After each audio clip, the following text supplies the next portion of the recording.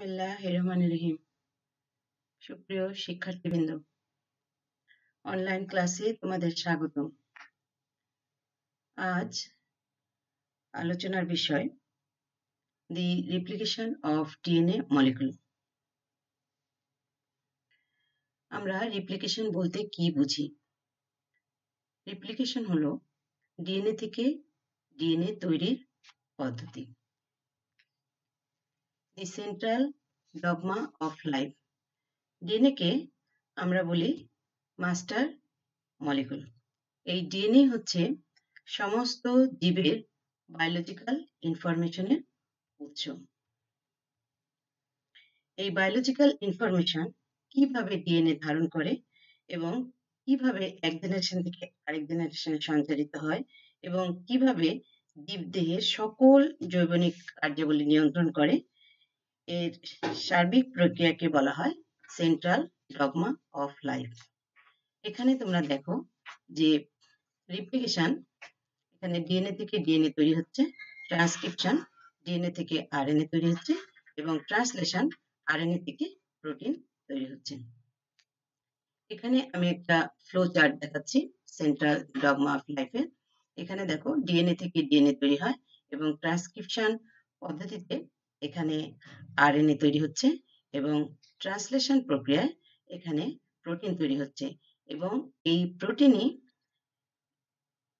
এখানে জীবদেহের যে সকল বৈশিষ্ট্য এখানে নিয়ন্ত্রণ করে।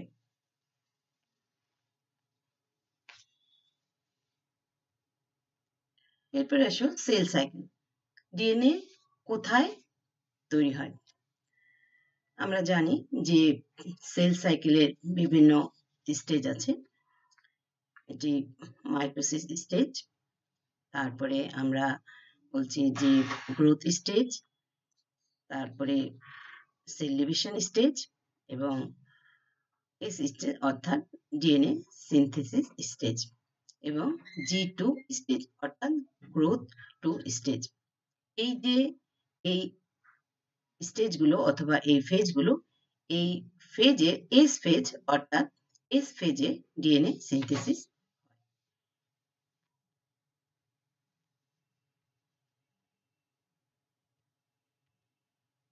models of DNA replication আমরা সাধারণত তিন ধরনের রেপ্লিকেশনের কথা শুনে থাকি।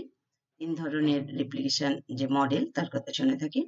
একটি কনজারভেটিভ মডেল ডিসপার্সিভ মডেল এবং semi conservative model conservative model এই পদ্ধতি অনুযায়ী প্যারেন্ট ডিএনএ ডাবল হেলিক্স অপরিবর্তিত থাকবে এবং প্রতিলিপি গঠনের মাধ্যমে সম্পূর্ণ নতুন একটি ডিএনএ অণু তৈরি হয়। এক্ষেত্রে মূল ডিএনএ সূত্র দুটি হুবহু সংরক্ষিত হয় এই সেমি কনজারভেটিভ মডেলের ক্ষেত্রে। ডিসপার্সিভ মডেল এই ক্ষেত্রে কি হয়? যে প্যারেন্ট ডিএনএ অনবরত ভেঙে যায় এবং বিভিন্ন পরিমাণে নতুন ও পুরাতন ডিএনএ সম্বলিত দুটি ডটার ডিএনএ অণু গঠিত হয়। মূল ডিএনএ সূত্রক দুটির কোনোটি হুবহু সংরক্ষিত হয় না। সেমি কনজারভেটিভ মেথড এখানে কি হয় যে প্যারেন্ট যে স্ট্র্যান্ড সেটি সেপারেট হয়ে যায় এবং সেই সেপারেট দুটি স্ট্যান্ড টেমপ্লেট হিসাবে কাজ করে। এবং তার এগেনস্টে দুটো নতুন ডিএনএ স্ট্যান্ড তৈরি হয়। সেই জন্য নতুন যে ডিএনএ সূত্র, সেগুলো হাইব্রিড মলিকুল আমরা বলে থাকি। সেমি কনজারভেটিভ মডেল এটি উনিশশো তিপ্পান্ন সালে ওয়াটসন এবং ক্রিক উনি প্রপোজ করেন এবং মেসেলসন এবং স্টল উনিশশো সাতান্ন সালে উনি এটি এক্সপেরিমেন্টালি প্রুভ করেন।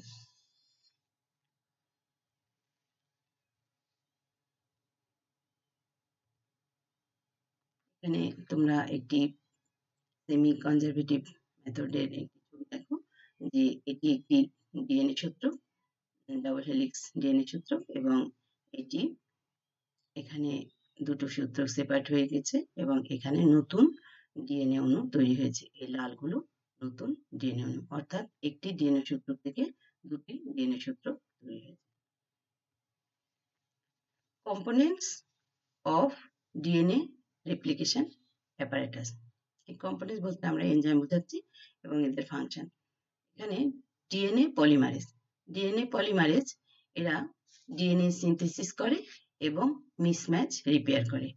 ডিএনএ হেলিকেজ এরা ডিএনএ যে ডাবল হেলিক্স এগুলো আনউইন্ড করে এবং রিপ্লিকেশন ফর্ম তৈরি করে। ডিএনএ লাইগেজ এই ডিএনএ লাইগেজগুলি ডিএনএ যে ফ্র্যাগমেন্ট আছে ল্যাগিং স্ট্যান্ডে সেগুলোকে জোড়া দেয়। ডিএনএ প্রাইমেজ এই ডিএনএ প্রাইমেজ এগুলো আরএনএ প্রাইমার তৈরি করে, যেন ডিএনএ নতুন ডিএনএ স্ট্যান্ড তৈরি হতে পারে। ডিএনএ ট্রফো আইসোমারেজ এই ডিএনএ ট্রপো আইসোমারেজ ডিএনএ তৈরির সময় যে ট্রেস হয়, সেই ট্রেসটি এরা রিলিজ করে থাকে। DNA gyrase reducing topological strain while double strand DNA is being unwound by cutting one of the double helix. Single strand binding protein SSB protein এই SSB protein কি করে যখন রেপ্লিকেশন ফর্ক তৈরি হয় এই রেপ্লিকেশন ফর্ক তৈরি হওয়ার সময় যেন দুটি স্ট্যান্ড আবার জোড়া না লেগে যায় সেজন্য এই এসএসবি প্রোটিন সেখানে কাজ করে। আর এনএইচ এই আরএনএ প্রাইমার রিমুভ করে থাকে ল্যাগিং স্ট্যান্ড থেকে। ইনিশিয়েটর প্রোটিন ডিএনএ সিনথেসিস এটা ইনিশিয়েট করে। Overall reaction process of DNA replication এখানে কি কি লাগে? এখানে প্রাইমার লাগে প্যারেন্টাল ডিএনএ লাগে এবং ডি অক্সি অ্যাডিনাইন ট্রাইফসফেট এরকম চারটি আমরা ট্রাইফসফেট পাই সেগুলো লাগে ডিএনএ পলিমারেজ লাগে ফলে নতুন ডিএনএ তৈরি হয়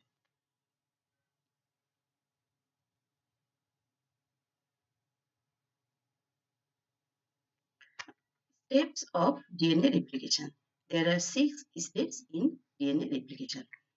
Replication for formation, primer binding, elongation of new strands, removal of primer, gap filling, and joining Okazaki fragments, proof reading, and mismatch repairing, telomere replication.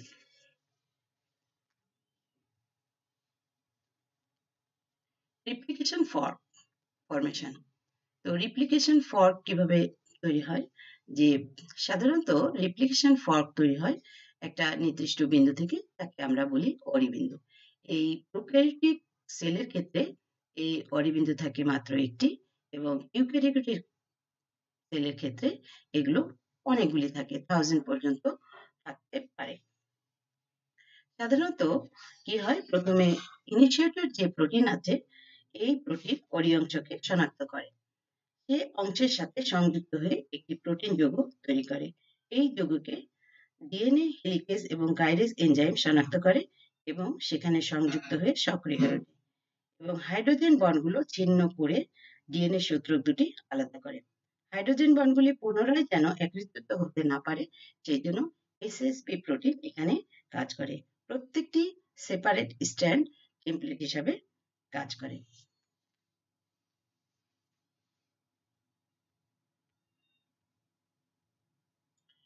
Molecular structure of ওরিসি এখানে আমি তোমাদের দেখাচ্ছি যে এই যে অরিবিন্দুর একটি নির্দিষ্ট সিকোয়েন্স আছে।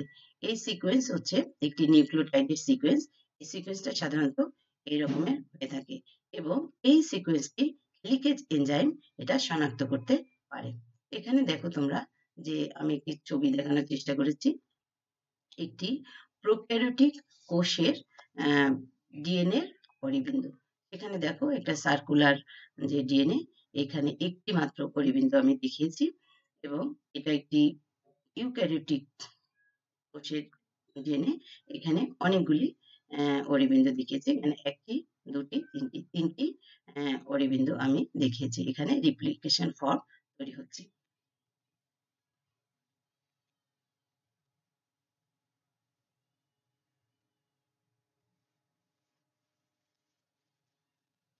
replication fork and bubble formation.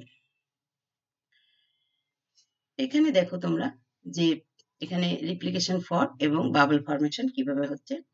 এই অংশে কিছু নাইট্রোজেন বেজ পেয়ার এবং হাইড্রোজেন বট ছিন্ন হয়ে বুদবুদ আকার ধারণ করে। এই বুদবুদের মতো অংশকে বলা হয় রিপ্লিকেশন ফর অথবা বলা হয় রিপ্লিকেশন আই এখানে দেখো যে এই যে বাবল ফর্ম করেছে, এই এখানে বাবল ফর্ম একটু বড় হয়েছে, বেশি হাইড্রোজেন বন্ড চিহ্ন হয়ে গেছে, এটি আরও বড়। এখানে এই যে একে আমরা বলছি যে এই অংশটাকে বলছি আমরা রিপ্লিকেশন ফর এই অংশটাকে আমরা বলছি রিপ্লিকেশন ফর এই অংশকেও বলছি আমরা রিপ্লিকেশন ফর আর এই যে স্ট্রাকচারগুলো তৈরি হচ্ছে এটা আমরা বলছি রিপ্লিকেশন আই ডিএনএ রিপ্লিকেশনের সময় সূত্র দুটি সংশ্লেষণ দুটি সবসময় পাঁচ তিন ডিরেকশনে হয় এবং এই দুই স্ট্যান্ড একটিকে বলা হয় লিডিং স্ট্যান্ড এবং আরেকটিকে বলা হয় ল্যাগিং স্ট্যান্ড লিডিং স্ট্যান্ড এবং ল্যাগিং স্ট্যান্ডের রিপ্লিকেশন একটু ভিন্ন ধরনের। প্রাইমার বাইন্ডিং ডিএনএ সংশ্লেষণের জন্য একটি প্রাইমার অত্যন্ত প্রয়োজন, কারণ DNA polymerase enzyme DNA synthesis করতে পারে, কিন্তু সিনথেসিস প্রক্রিয়া শুরু করতে পারে না। এই যে আরএনএ প্রাইমার এই আরএনএ প্রাইমারটি একটি হাইড্রোক্সিল গ্রুপ সরবরাহ করে। এই সময় প্রাইমেজ এনজাইম সক্রিয় হয়ে ওঠে এবং আরএনএ প্রাইমার তৈরি করে। আরএনএ প্রাইমার হলো স্বল্প দৈর্ঘ্যের একটি আরএনএ নিউক্লিওটাইডের পলিমার লিডিং স্ট্যান্ডের জন্য একটি মাত্র প্রাইমারের প্রয়োজন হয়, কিন্তু ল্যাগিং স্ট্যান্ডের জন্য অনেকগুলি প্রাইমারের প্রয়োজন হয়। এখানে তোমরা দেখো যে লিডিং স্ট্যান্ড এবং এই লিডিং স্ট্যান্ডের জন্য এখানে আমি দেখিয়েছি একটি মাত্র প্রাইমারের প্রয়োজন এবং ল্যাগিং স্ট্যান্ডের জন্য অনেকগুলি প্রাইমারের প্রয়োজন।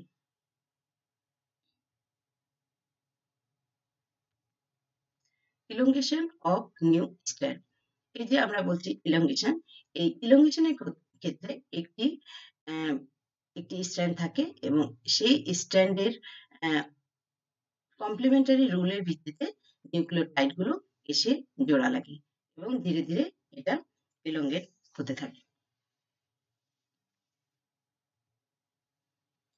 Elongation of leading and lagging stands আমরা আগেই বলেছি যে ডিএনএ স্ট্যান্ড দুটি অ্যান্টিপ্যারালাল এখানে পলিমারেজ থ্রি এনজাইম কেবলমাত্র তিন পাঁচ ডিরেকশন এর টেমপ্লেটটি শনাক্ত করতে পারে এবং নিরবিচ্ছিন্নভাবে সূত্রটি বর্ধিত করতে থাকে। এই জন্য এই স্ট্যান্ডটিকে লিডিং স্ট্যান্ড বলা হয়। ডিএনএর অন্য যে স্ট্যান্ড বিপরীতমুখ হবার কারণে এই স্ট্যান্ডটি ডিএনএ পলিমারেজ এনজাইম শনাক্ত করতে পারে না। এই সূত্রকে ডিএনএ রিপ্লিকেশন প্রক্রিয়ায় আরএনএ প্রাইমার এর সহায়তায় অসংখ্য ছোট ছোট ডিএনএ খণ্ড তৈরি হয়।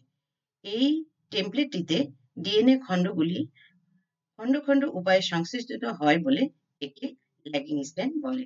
এখানে উল্টা দিক থেকে থেমে থেমে ডিএনএ সংশ্লেষিত হয় এবং সংশ্লেষণের গতি ধীর।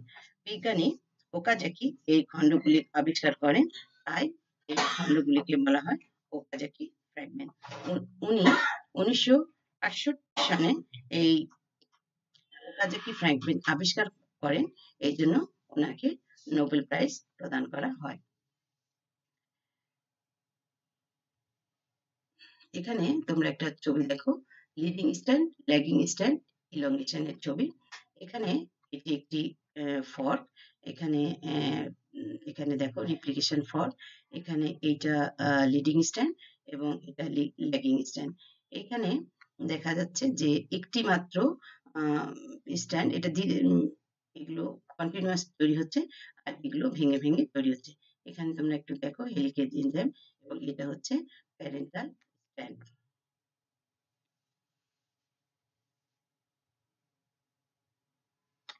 removal of primer gap filling and joining Okazaki fragment. The polymerase enzyme 1 removes the RNA primers from the newly synthesized stand অথবা ওকাজাকি ফ্র্যাগমেন্টস তো এখানে কি হয় যে পলিমারেজ যে এনজাইম ওয়ানের সহায়তায় আরএনএ প্রাইমারের চেতন ঘটে ও অপসারিত হয়। আরএনএ প্রাইমার অপসারণের ফলে সৃষ্ট শূন্য স্থানে ডিঅক্সি রাইবোনিউক্লিওটাইড সন্নিবেশিত হয় এবং পরবর্তীতে ডিএনএ লাইগেজের সহায়তায় এগুলো যুক্ত হয়। প্রুফরিডিং অ্যান্ড মিসম্যাচ রিপেয়ারিং সংশ্লেষণের সময় পলিমারেজ থ্রি নির্দিষ্ট নিউক্লিওটাইড নির্দিষ্ট স্থানে না বসিয়ে ভুল নিউক্লিওটাইড বসিয়ে ফেলে। এই বিপর্যয় থেকে রক্ষা করার জন্য পলিমারেজ এনজাইম দ্বৈত ভূমিকা পালন করে। কমপ্লিমেন্টারি রোলের ভিত্তিতে নিউক্লিওটাইড স্থাপন ভুল হলে পলিমারেজ এনজাইম থমকে দাঁড়ায় এবং তিন পাঁচ মুখী হয়ে অগ্রসর হয়। ফেরার পথে সংশ্লেষিত নিউক্লিওটাইডগুলো একটি একটি করে মুক্ত করে ভুল নিউক্লিওটাইডের নিকট এসে সেটি সারিয়ে ঠিক নিউক্লিওটাইডটি বসিয়ে দেয়। আবার পাঁচ তিন ডিরেকশনে অগ্রসর হতে থাকে। এই পদ্ধতিতে ভুল সংশোধনকে মিসম্যাচ প্রুফরিডিং বলে। এই সংশোধনের পরেও কিছু ত্রুটি থেকে যায়। এই ভুলের হার ten to the power nine থেকে ten to the power ten নিউক্লিওটাইডের মধ্যে মাত্র একটি। যদি কোনো কারণে এই রিপেয়ার ঠিক না হয়, তাহলে মিউটেশন ঘটে।